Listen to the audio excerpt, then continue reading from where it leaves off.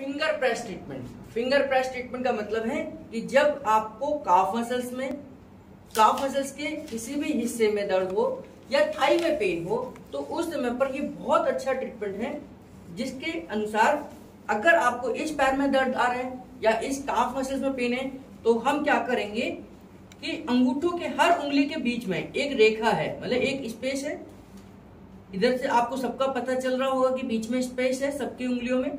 तो यहाँ पर हम नीचे से अंगूठे को, आपके अंगूठे का नेल कटा हुआ होना चाहिए, यानी कि आपके नेल्स कटे हुए होने चाहिए, तब आप इस पॉइंट को दे सकते हैं। अंगूठा रखा आपने, इनको बोलना है एड़ी को ऊपर उठाना है। ये, जैसे इन्होंने एड़ी ऊपर की तरफ़ उठाई है, वैसे ही पेशेंट को ऊपर उठाना है। फिर नीचे रखना है, फिर आप आगे की तरफ़ चलेंगे, और अगर पेशेंट तुरंत उठाता है तो तीन सेकंड का ज़रूर होल्ड करेंगे। वापस नीचे रख लीजिए। फिर ऊपर आएँगे। तीन सेकंड का होल्ड, उसके बाद नीचे रख लीजिए। अगर इनको काफ मसल्स में पेन होगा तो इन पाँचों उंगलियों के बीच में कहीं ना कहीं पेन ज़रूर आएगा। फिर हम बराबर वाली उंगली ऊपर उठाइए। तीन सेकंड का होल्ड, वापस नीचे रखेंगे। फिर ऊपर जाएँगे। तीन सेकंड का होल्ड, वापस।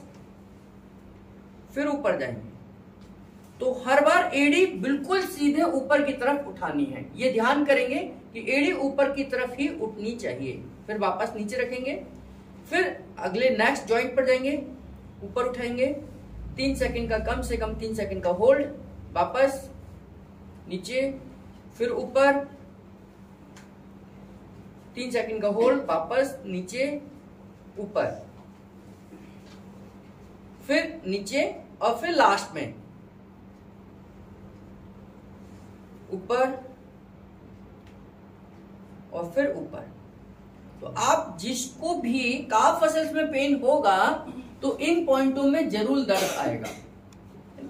और लास्ट में आपने क्या करना है?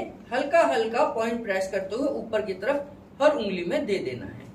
हल्का हल्का प्रेशर ऊपर की तरफ़ दे देना है।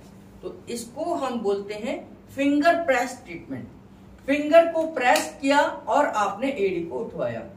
फिंगर को प्रेस किया, फिर ऊपर उंगली को उठाया। यानी आपने फिंगर प्रेस की और उंगली को उठाया। ये हम पैरों से भी दे सकते हैं, अपने अंगूठे से दे सकते हैं, लेकिन अंगूठे का प्रेशर आपके पैर के अंगूठे का प्रेशर एक फिक्स जगह पर नहीं होगा, इसलिए आप ध्यान करें कि हाथ के अंगूठे से अगर आप देते हैं तो अच्छा है। हाथ के अंगूठे से दे सकते हैं अगर ज़रूरत लगे तो आप पेन का सहारा भी ले सकते हैं, इस तरीके से भी कर सकते हैं। लेकिन ये चुभे ना, ये ध्यान करेंगे। तो उसके लिए अगर आप करते हैं तो अंगूठे के ही सहारा लें तो इससे आपका मैक्सिमम पॉइंट और सही पॉइंट आप खुद प्रेस कर सकते हैं। हर जगह पे तीन पॉइंट आपने बनाने हैं और आगे बढ़ना है।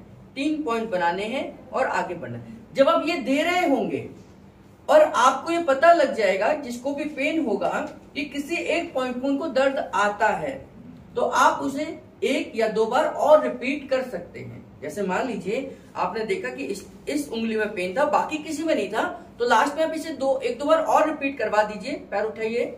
इस तरीके से तो उनको और आराम आ जाएगा। नीचे, ऊपर ऊपर। अगर आपके पास कहीं लेटाने की जगह नहीं है तो आप ये पॉइंट ऐसा है जो आप कहीं पर भी पेशेंट को दे सकते हैं। केवल वो बैठा हुआ होना चाहिए। तो जिससे कि उनके एडी उठाकर ये पूरे मांसपेशियों पर खिंचाव आएगा और उनका दर्द वहाँ से रिलीज़ हो जाएगा। ऐसे बहुत सारे पेशेंटों पर हमने अप्लाई किया है और बहुत अच्छे रिज़ल्ट उनके देखने को मिले हैं। तो फिंगर प्रेस ट्रीटमेंट आपके पूरे पैर में या फिर आपके काफ मसल्स में या थाई में पेन हो, उन सब के लिए आप दे सकते हैं।